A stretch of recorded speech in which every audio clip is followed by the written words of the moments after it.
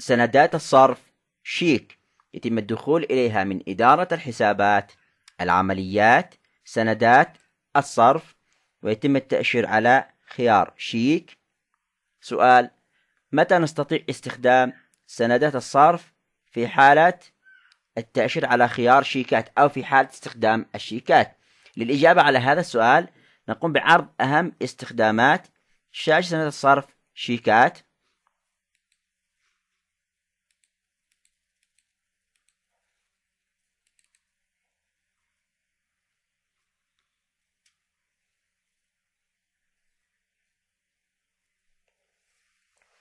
تستخدم شاشة الصرف شيكات في الحالات التالية.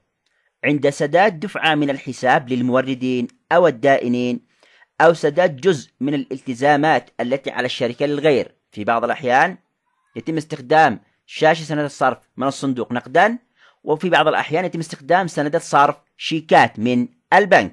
كذلك عند شراء الأصول بشيكات نستطيع استخدام سندات الصرف شيكات. عند سداد بعض المصروفات المختلفة إيجارات مرتبات الموظفين وغيرها من المصاريف.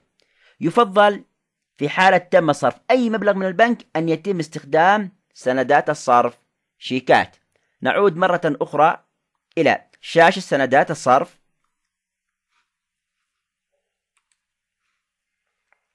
طبعا سندات الصرف تتكون هذه الشاشة من جزئين الجزء العلوي والجزء السفلي.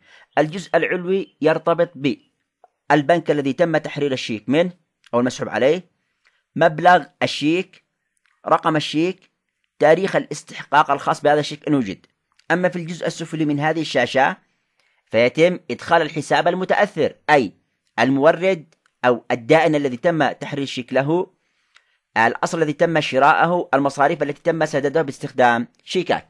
نلاحظ هناك عدة أنواع لطريقة ترحيل الشيكات أو للتأثير المحاسبي لسندات صرف شيكات على الحسابات. الطريقة الأولى باستخدام بتاريخ السند أو بتاريخ الاستحقاق توسيط حساب أوراق ترحيل آلي أو إدخال استحقاق يدويا. سنوضح بعض الأمثلة المرتبطة بكل نوع وكل حالة من هذه الحالات على النحو التالي. نقوم الآن بعرض المثال الأول المرتبط بتاريخ السند. نقوم الآن بالعرض التطبيقات المرتبطة بهذه الحالة بتاريخ السند.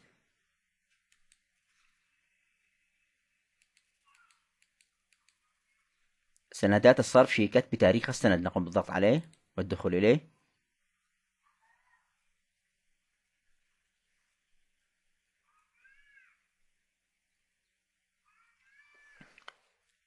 ترحيل الشيكات بتاريخ السند. تم تحرير شيك رقم 23 مسحوب على بنك التضامن الإسلامي دولار بمبلغ 750 دولار دفعة من الحساب للمورد شركة معين البعدان للتجارة والاستثمار.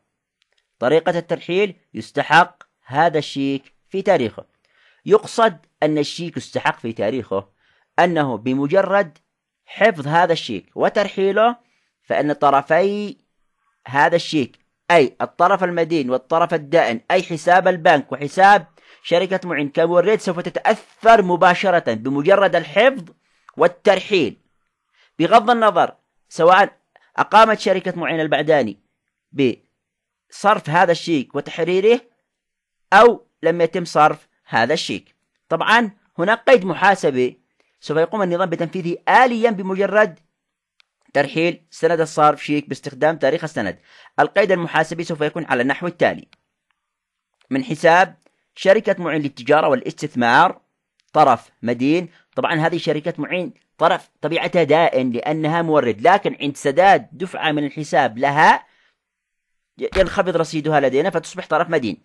إلى حساب بنك التضامن الإسلامي طرف دائن طبعا نحن نعلم أن البنوك طبيعتها أصول والأصول طبيعتها مدينة لكن عند انخفاضها تصبح دائن إذا القيد المحاسبي من حساب شركة معلن التجارة والاستثمار طرف مدين.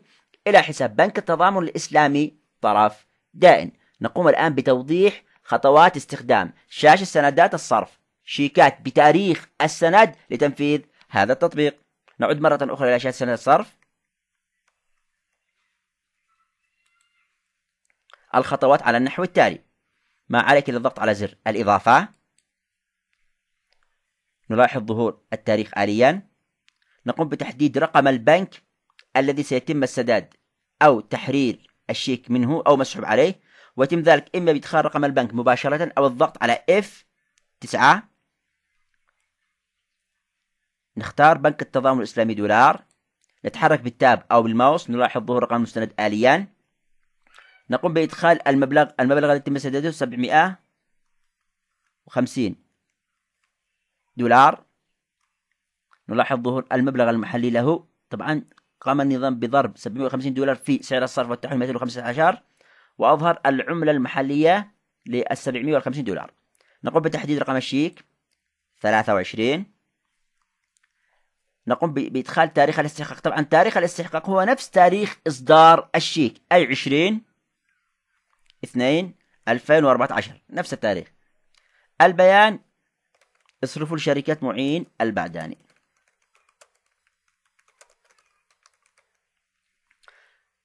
الآن نقوم بالبحث على شركة معين للتجارة والاستثمار في أسفل الشاشة في هذا الجزء من الشاشة. طبعا هناك عدة طرق للبحث وإنزال الحسابات في نظام المتكامل. الطريقة الأولى هي الطريقة التقليدية وهي طويلة بعض الشيء متعبة ما عليك إلا الذهاب إلى رقم الحساب. والضغط على F9 لكنها طريقة طويلة خصوصا إذا كان معك عدد كبير جدا من الحسابات. ويتم البحث بهذه الطريقة يتم البحث. شركة معين. طبعا هذه الطريقة الأولى طويلة بعض الشيء.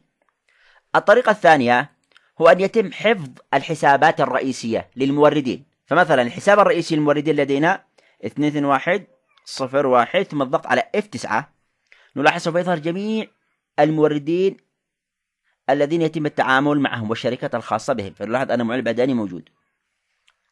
الطريقة الثالثة في حالة أن مستخدم نظام المتكامل حافظ رقم الحساب ما عليه لأن يقوم بإدخاله مباشرة. 21 صفر واحد صفر صفر اثنين. نلاحظ ظهور اسم الحساب مباشرة. الطريقة الأكثر استخداما في الواقع هو أن يتم البحث من خلال اسم الحساب. ما عليك إلا الذهاب إلى اسم الحساب وإدخال رمز النجمة وكتابة مثلا شركة معين تكتب مثلا معين أو شركة معين إما اسم الحساب كاملا أو جزء من اسم الحساب. نكتب معين مثلا. ثم الضغط على F9 نلاحظ ماذا؟ ظهور رقم الحساب واسم الحساب مباشرة. نقوم بالضغط عليه مرتين. ونتحرك بالتاب أو بالماوس. عند البيان نقوم بتوضيح وشرح العملية. يعني دفعة من الحساب بموجب شيك رقم 23 مسحوب على بنك التضامن الإسلامي. طبعا هذا البيان مهم جدا كي يظهر في كشف حساب شركة معلن التجارة والاستثمار. إذا دفعة من الحساب. شيك رقم 23 مسحوب على بنك التضامن. نتحرك بالتاب أو بالماوس. نقوم بإدخال مبلغ هذا الشيك ال 750 دولار في هذا في هذا الحق مبلغ الأجنبي. 750 دولار نتحرك بالتاب. بعد عملية إدخال جميع البيانات نقوم بعملية الحفظ. حفظ. إذا ما أردنا طباعة هذا السند واستعراضه ما عليك إلا الضغط على زر طباعة. في حالة أردنا إخراجه بورقة يعني طباعته نقوم بالضغط على نعم في حالة أن النظام أو الجهاز مرتبط بطابعة. أما إذا ما أردنا فقط الاستعراض ما عليك إلا الضغط على زر. لا. يظهر سند الصرف شيك بالشكل الظاهر أمامكم. البيانات التعريفية الخاصة بالشركة. شعار الشركة. يصرفوا للأخ أو للإخوة. شركة معين البعدان للتجارة والاستثمار مبلغ قدره 750 دولار. وذلك موجب شيك. 23 بنك التضامن. وهكذا. ويقيد هذا الحساب شركة معين للتجارة والاستثمار دفع من الحساب. ويقوم الأشخاص المسؤولين بالتوقيع في هذا السند. الآن نقوم بعملية التأثير المحاسبي والمالي من خلال عملية مهمة جدا تسمى الترحيل. نقوم بالخروج من هذه الشاشة والذهاب إلى الترحيل. سندات بنكية. نختار سند صرف. نحدد رقم البنك بالضغط على F9 ونختار بنك التضامن الإسلامي دولار ثم نتحرك بالتاب أو بالماوس أو نضغط على مستند. نلاحظ ظهور الشيك الخاص بنا. نقوم بالتأشير على ترحيل. إذا ما أردنا استعراض هذا السند قبل طباعته أو قبل ترحيله نقوم بالتأشير على بالزر الأيمن. عند التاريخ بالزر الأيمن نلاحظ ظهور هذا السند. الآن نقوم بعملية التأثير المحاسبي والمالي لهذا السند. الشيك نقوم بعملية ترحيل إذا ما أردنا مثلا استعراض كشف حساب شركة معين للتجارة والاستثمار ما عليك إلا الدخول إلى التقارير كشوفات الحسابات الحسابات الفرعية ونقوم بإدخال رقم الحساب مباشرة.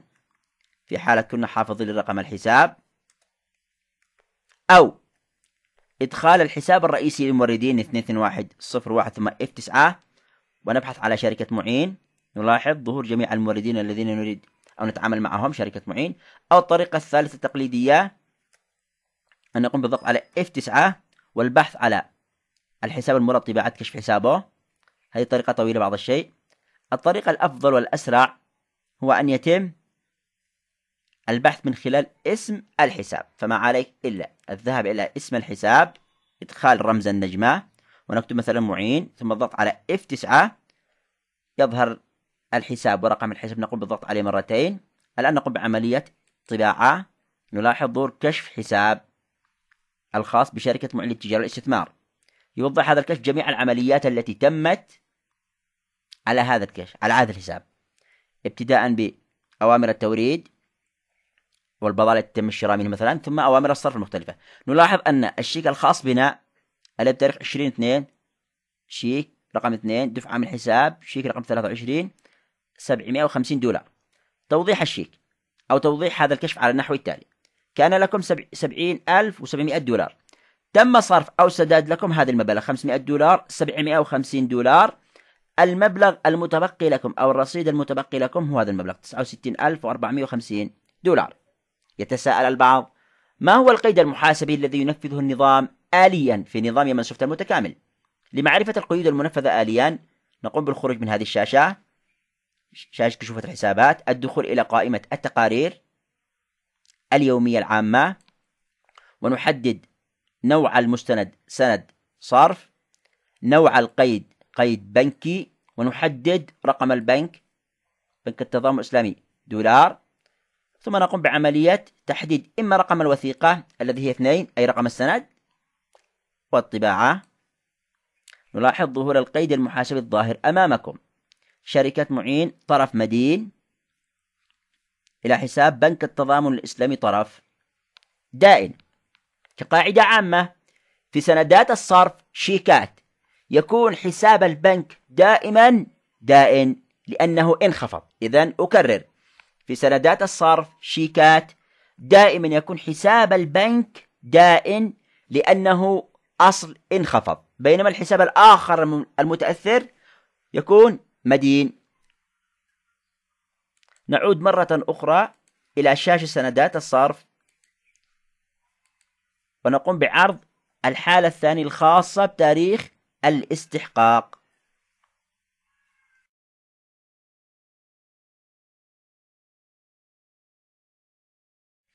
نوضح الآن حالة أخرى من حالات استخدام شاشة سندات الصرف شيكات.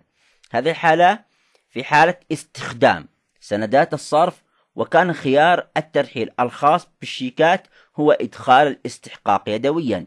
فإذا ما قمنا بالدخول إلى إدارة الحسابات العمليات سندات الصرف شيك وقمنا بالتأشير على إدخال الاستحقاق يدويا تعتبر هذه الحالة من أكثر الحالات استخداما في واقع الشركات وفي الواقع. السبب في ذلك يعود إلى أنه لن يتم التأثير على حساب البنك إلا بعد أن يكون قد ورد إشعار من البنك يفيد بخصم هذا الشيك. لذلك التأثير على حساب البنك. لن يحدث عند تاريخ إصدار الشيك ولن يحدث في تاريخ استحقاق الشيك لكن يحدث فقط عندما نقوم بالتأشير اليدوي على تحصيل عند ورود إشعار من البنك يفيد بعملية الخصم. لتوضيح هذه الفكرة أكثر أو هذه الحالة الخاصة بسندات الصرف شيكة أكثر نقوم بعرض التطبيق التالي.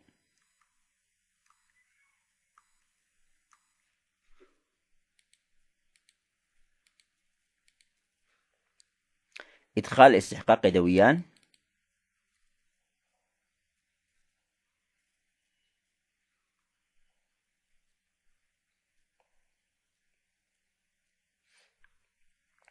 المثال أو التطبيق. تم تحرير الشيك رقم 165 مسحوب على بنك التسليف التعاون الزراعي كاك بنك للمورد شركة عمارة التجارية دفعة من الحساب بمبلغ 250 ألف ريال. يستحق هذا الشيك في تاريخ 26 6 2014 طبعا طريقة إدخال أو ترحيل هذا الشيك إدخال الاستحقاق يدويا. في مثل هذه الحالة هناك مرحلتان لتنفيذ هذا الشيك. المرحلة الأولى هو في تاريخ إصدار الشيك. في هذه الحالة سوف نقوم بتوسيط حساب يسمى حساب أوراق الدفع بعملة البنك ويتم إضافته في الدليل المحاسبي إذا لم يكن قد أضيف مسبقا. ثم بعد ذلك يتم إضافته في الحسابات الوسيطة طبعا يضاف في الدليل المحاسب في جانب الخصوم المتداولة. الغرض من عملية إضافة أوراق الدفع في الدليل المحاسبي بعملة البنك وفي الحسابات الوسيطة حتى يقوم النظام بتنفيذ القيد المحاسبي التالي. طبعا هذا كله في تاريخ إصدار الشيك من حساب المورد شركة عمار التجارية طرف مدين إلى حساب أوراق الدفع طرف دائن طبعا يسمى أو يمثل حساب وسيط. نلاحظ أن حساب البنك لن يتأثر مطلقا في تاريخ إصدار الشيك إنما تم التأثير على حساب المورد. لنفرض جدلا أنه ورد إشعار من البنك يفيد بخصم الشيك. في مثل هذه الحالة وعند ورود إشعار من البنك يفيد بخصم الشيك فإننا نقوم بالتأثير اليدوي على حساب البنك. وذلك من خلال الذهاب إلى شاشة شركات المستحقة في العمليات في إدارة الحسابات. نقوم بإدخال تاريخ الاستحقاق. ثم نقوم بالضغط على بحث والتأشير على تحصيل يدويا.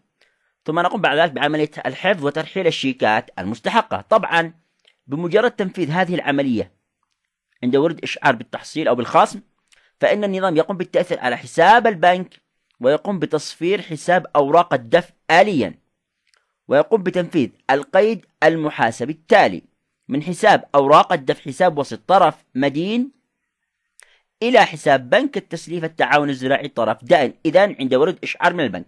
والتأثير اليدوي على الشيكات المستحقة المحصلة فإن حساب البنك يتأثر. نلاحظ أن أوراق الدفع في تاريخ إصدار الشيك كان طرف دائن وعند التحصيل طرف مدين أي أنه حساب وسط تم تصفيره. الآن نقوم بتوضيح الخطوات الإجرائية وتنفيذها في شاشة سندات الصرف شيكات في حالة اختيار إدخال الاستحقاق يدويا. نعود مرة أخرى إلى شاشة سندات الصرف.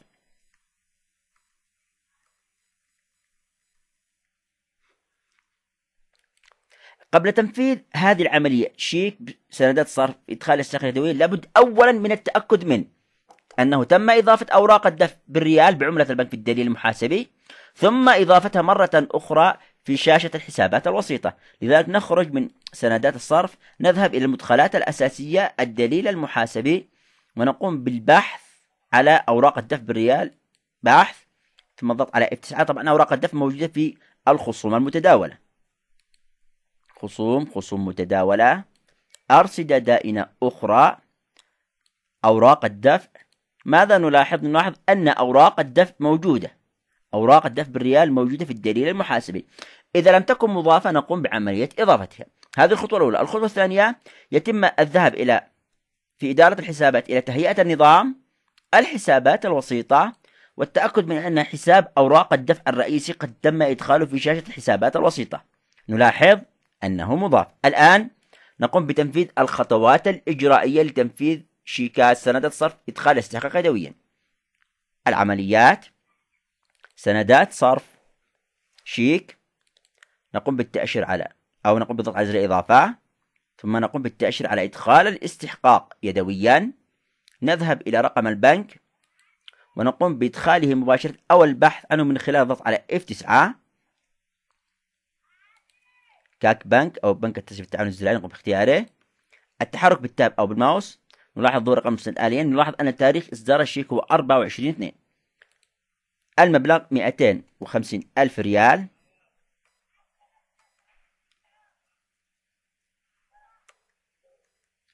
الشركة التي سيتم تحرير الشيك باسمها هي شركة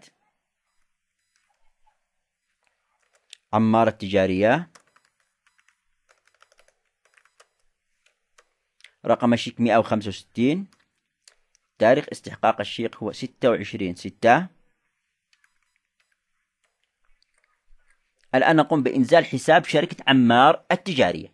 هناك عدة طرق للبحث على الحسابات وإنزالها في نظام يمن سوفت المتكامل. فالطريقة الأولى الطريقة التقليدية أن نذهب إلى رقم الحساب ونقوم بالضغط على F9 نلاحظ ظهور الدليل المحاسبي كاملا. نقوم بالبحث على شركة عمار التجارية طبعا تعتبر طريقة طويلة وخصوصا إذا كان لديك عدد كبير من الحسابات.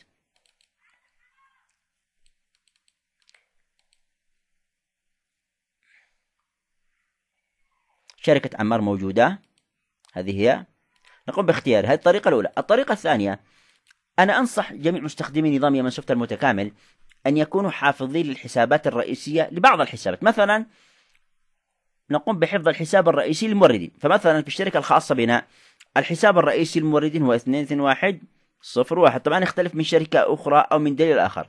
ثم نقوم بالضغط على F9 نلاحظ ظهور جميع الموردين الذين تتعامل معهم الشركة. فنقوم باختيار شركة عمار للتجارة. هذه الطريقة الثانية؟ الطريقة الثالثة هو أن يتم إدخال رقم الحساب مباشرة في حالة كنا حافظين لرقم الحساب. 221 01 ثم التحرك بالتاب أو بالماوس فنلاحظ ظهور اسم الحساب. الطريقة الأخيرة وهي الطريقة الأكثر استخداما في الواقع العملي هو أن يتم البحث من خلال اسم الحساب. فما عليك إلا الذهاب إلى اسم الحساب وإدخال رمز النجمة ثم كتابة شركة عمار. أكتب عمار يعني اسم الحساب كاملا أو جزء من اسم الحساب ثم F9 نلاحظ ظهور اسم الحساب مباشرة نقوم باختياره بالضغط عليه مرتين والتحرك بالماوس أو بالتاب. ونقوم بشرح العملية في البيان. دفعة من الحساب بموجب شيك رقم 165 مسحوب على بنك التعاون الزراعي كاك بنك. نقوم بكتابته.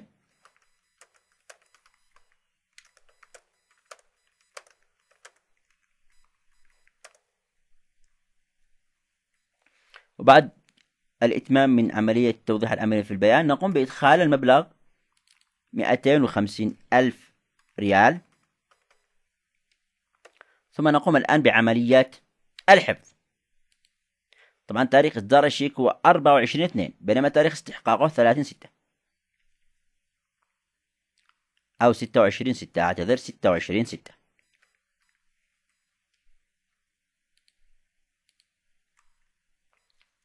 نقوم الآن بعملية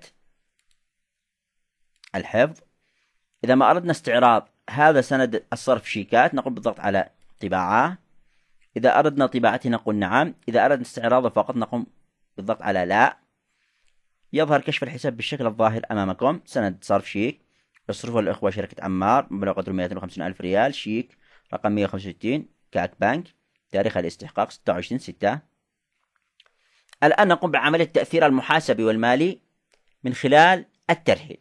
نقوم بالخروج والذهاب إلى قائمة الترحيل. سندات بنكية. نحدد صرف نحدد رقم البنك بالضغط على F9 أو إدخاله مباشرة كاك بنك. نتحرك بالتاب أو بالماوس. نقوم بالتشر على ترحيل.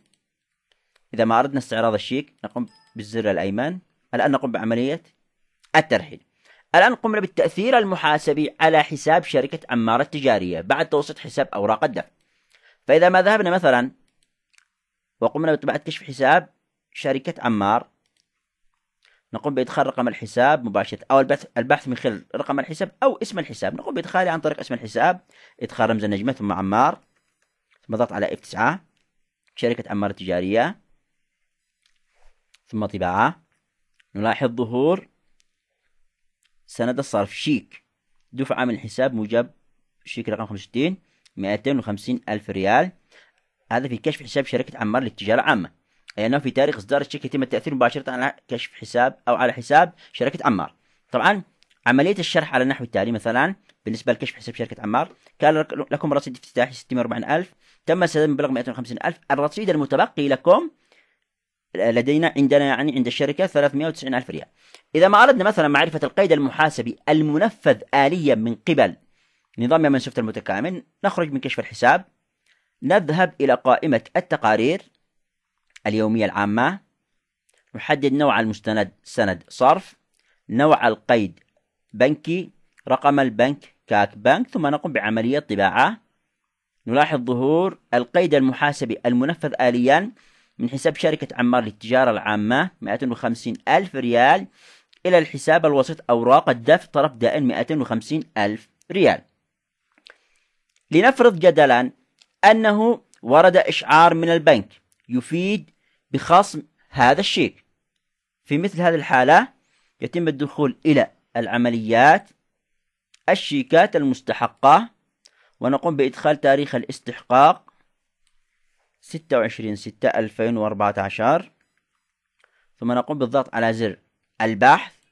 نلاحظ ظهور الشيك. نقوم بعملية التأثير المحاسبي يدويا من خلال التحصيل ثم نقوم بعملية الحفظ. الآن تم التأثير على حساب البنك.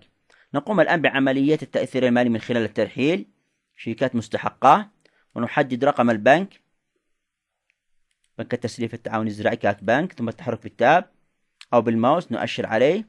ونقوم بعمليات الترحيل.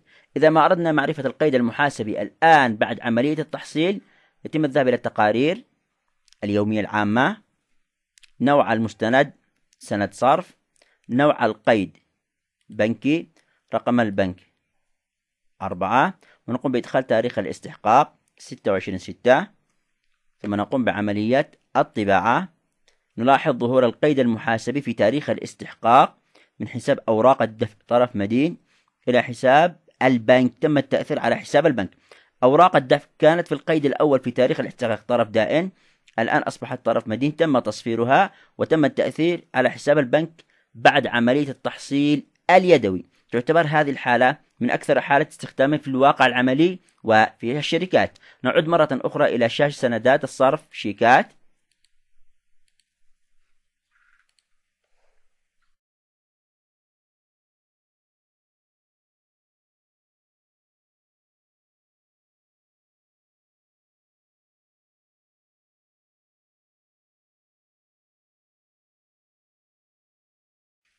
في هذا الدرس سنوضح رسالة مهمة ربما تواجهك أو تصادفك عند تنفيذ سندات الصرف إما بإدخال استحقاق يدويين أو بتوسيط أوراق. فإذا ما ذهبنا إدارة الحسابات مثلا سند صرف شيك واخترنا مثلا إدخال استحقاق يدويا إضافة وقمنا باختيار إدخال استحقاق يدويا وقمنا بتنفيذ العملية التالية مثلا بنك التضامن الإسلامي دولار 700 دولار. محرر شركة معين البعداني للتجارة. رقم الشيك كمثال 100 تاريخ الاستحقاق 30 7 طبعا في حالة إدخال الصيغة يدويا نقوم بالبحث على شركة معين. شركة معين للتجارة والاستثمار دفعة من الحساب كمثال. 700 دولار. نقوم الآن بعملية الحفظ. الآن عند ذهابنا لعملية الترحيل سوف تواجهك الرسالة التالية. نقوم بتحديد رقم البنك بالضغط على F9 بنك التضامن الإسلامي دولار. ترحيل. ماذا نلاحظ؟ ربما تظهر هذه الرسالة. يجب تحديد حساب أوراق الدفع الوسيط بالعملة دولار. في حالة ظهور هذه الرسالة فإنه يجب عليك أولا أن تقوم بإضافة حساب أوراق الدفع في الدليل المحاسب في جانب الخصوم المتداولة بعملة البنك أي بالدولار. الخطوة الثانية التأكد من أنه تم إضافة حساب أوراق الدفع في الحسابات الوسيطة. فإذا ما ذهبنا إلى المدخلات الدليل المحاسبي وقمنا بالبحث على الخصوم المتداولة من أجل إضافة أوراق الدفع لأنها تضاف في جانب الخصوم المتداولة. أرصدة دائنة أخرى. أوراق دفع. ماذا نلاحظ؟ نلاحظ أن يوجد لدينا أوراق الدفع بالريال وليس بالدولار. إذا نقوم بإضافة أوراق دفع بالدولار. طبعا سوف يكون ترتيبها 2 2 2 0 2 0 0 2 نقوم بالضغط على زر الإضافة الحساب الرئيسي لها هو الحساب هذا. حساب أوراق الدفع. ثم نكتب أوراق الدفع.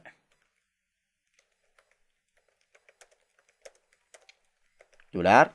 نوع الحساب. فرعي دولار. ثم نقوم بعملية الحفظ. الخطوة الثانية لحل هذه الرسالة هو الذهاب إلى. في إدارة الحسابات تهيئة النظام الحسابات الوسيطة والتأكد من إضافة حساب أوراق الدفع. نقوم بإدخال أوراق نلاحظ أن أوراق الدفع ليست موجودة في الحسابات الوسيطة.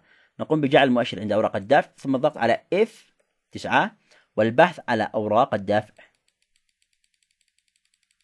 شركات تحصيل أوراق الدفع. ثم حفظ. الآن إذا ما ذهبنا إلى قائمة الترحيل سندات بنكية. وحددنا رقم البنك بالضغط على F9 بنك التضامن الإسلامي دولار ثم التحرك بالتاب أو بالماوس. الآن نستطيع ترحيل ذلك الشيك أو ذلك السند بعد إضافة أوراق الدفع الدين المحاسبي وإضافتها في الحسابات الوسيطة. ترحيل. نكون بهذا قد أوضحنا كيف يمكن معالجة تلك الرسالة التي تظهر عند استخدام إدخال استحقاق يدوي أو توسيط أوراق الدفع وكيف يمكن إضافة في الدليل المحاسبي بعملة البنك وكذلك في الحسابات الوسيطة.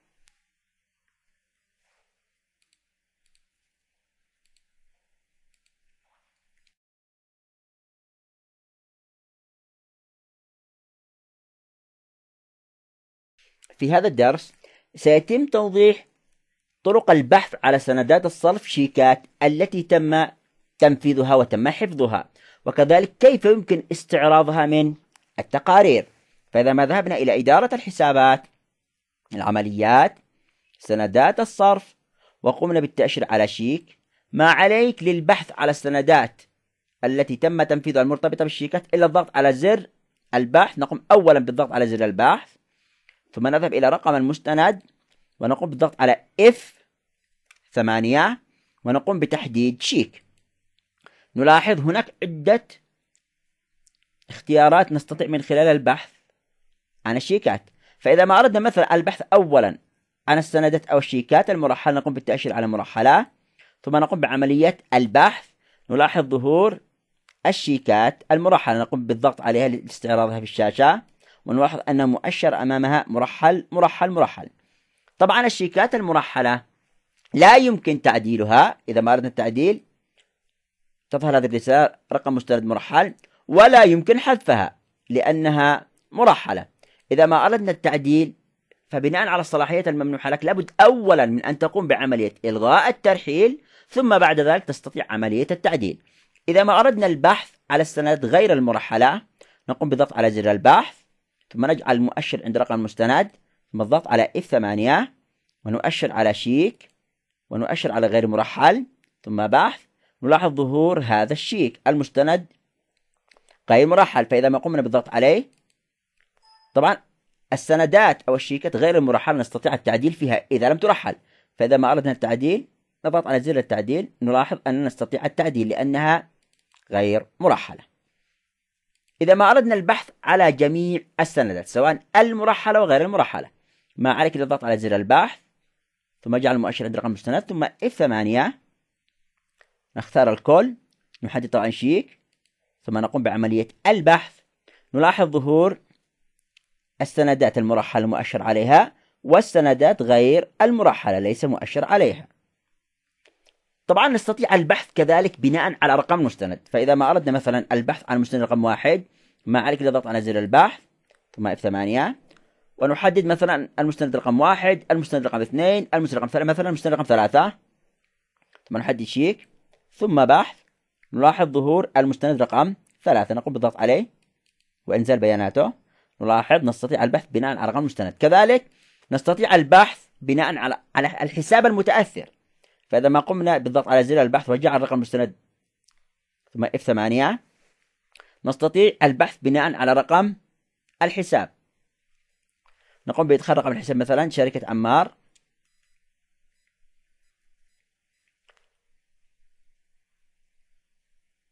ثم بحث.